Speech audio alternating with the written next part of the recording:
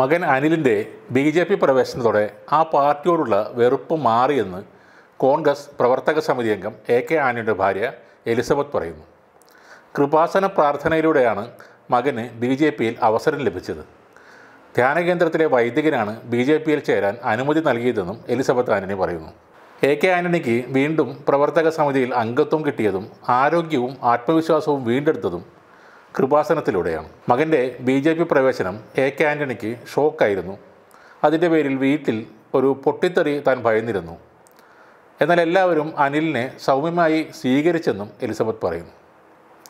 ആലപ്പുഴയിലെ കൃപാസന ധ്യാന കേന്ദ്രത്തിൽ പ്രാർത്ഥനാ ചടങ്ങിന്റെ ഭാഗമായ അനുഭവ സാക്ഷ്യത്തിലാണ് മുൻ കേന്ദ്രമന്ത്രിയുടെ ഭാര്യ ഇക്കാര്യങ്ങൾ വെളിപ്പെടുത്തിയത്. രാഷ്ട്രീയ പ്രവേശനം ആഗ്രഹിച്ച മകന് കോൺഗ്രസിൽ വഴി അടയുകയും എ കെ ആന്റണി ഇടപെടാതെ ഇരിക്കുകയും ചെയ്ത വിഷമഘട്ടത്തിൽ ബി ജെ പിയിൽ അവസരം ലഭിച്ചത് നേട്ടമായാണ് എലിസബത്ത് പറയുന്നത്.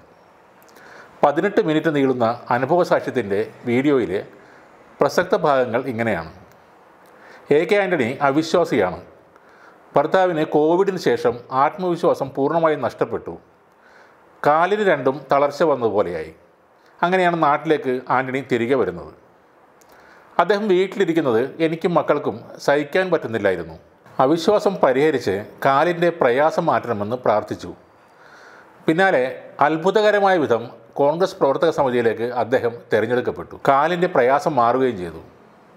മൂത്ത മകൻ അനിൽ രാഷ്ട്രീയത്തിൽ ചേരാൻ അതിയായി ആഗ്രഹിച്ചിരുന്നു. ഭർത്താവ് അതിനായി പരിശ്രമിക്കില്ല എന്നുറപ്പായിരുന്നു അങ്ങനെ ഇരുന്നപ്പോൾ കൃപാസനം അമ്മയോട് നിയോഗം വെച്ചു. അതിനുശേഷം പ്രതീക്ഷിക്കാത്ത നിലയിലാണ് കാര്യങ്ങൾ മാറിയത്. പെട്ടെന്ന് ബി ബി സി വിഷയത്തിൽ വിവാദം വന്നു. എനിക്കൊന്നും ചെയ്യാൻ പറ്റിയില്ല. കരഞ്ഞു വിളിച്ച് പ്രാർത്ഥിച്ചു. അപ്പോഴാണ് പ്രധാനമന്ത്രിയുടെ ഓഫീസിൽ നിന്ന് മകനെ ബി ജെ പിയിൽ ചേരാൻ വിളിച്ചത്. ഞങ്ങൾ കോൺഗ്രസ്സിലാണ് ജീവിച്ചത്. ബി ജെ പിയിലേക്ക് പോകുന്നത് ഞങ്ങൾക്ക് ആലോചിക്കാൻ പോലും ആകില്ല. ധ്യാനകേന്ദ്രത്തിൽ ജോസഫ് അച്ഛന്റെ അടുത്ത് ഞാൻ തുണ്ട് കൊടുത്തു.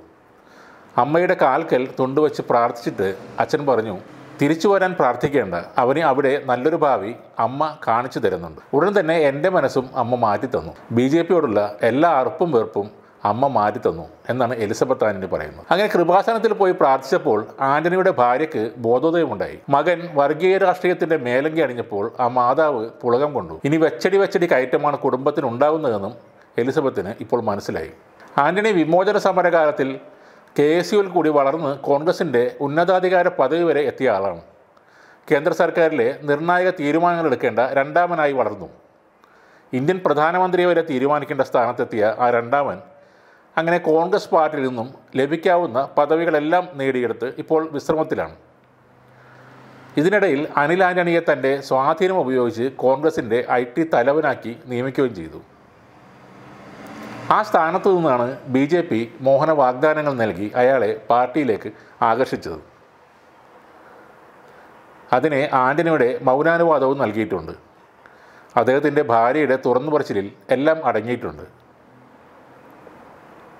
ഭക്തിയും വിശ്വാസവും വ്യക്തിപരമാണ്. എന്നാൽ നമ്മുടെ രാജ്യത്തിന്റെ പ്രതിരോധ മന്ത്രിയായിരുന്ന ആന്റണിക്ക് കോൺഗ്രസിൽ നിന്നും വീണ്ടും ഒരു സ്ഥാനം ലഭിച്ചത് കൃപാസനത്തിന്റെ കാരുണ്യം കൊണ്ടാണെന്ന് അറിയുമ്പോൾ ഒരു വല്ലായ്മ തോന്നുന്നുണ്ട്. ഇനി നമ്മൾ കാണാൻ പോകുന്നത് അദ്ദേഹത്തിന്റെ പഴയ കഥർമുണ്ട് കൃപാസനം പത്രത്തിൽ പൊതിഞ്ഞു വച്ചാൽ കാക്കിനിക്കറായി രൂപം മാറുന്ന കാഴ്ചയാണ്. അതിന് വലിയ താമസമുണ്ടാകാൻ സാധ്യതയില്ല.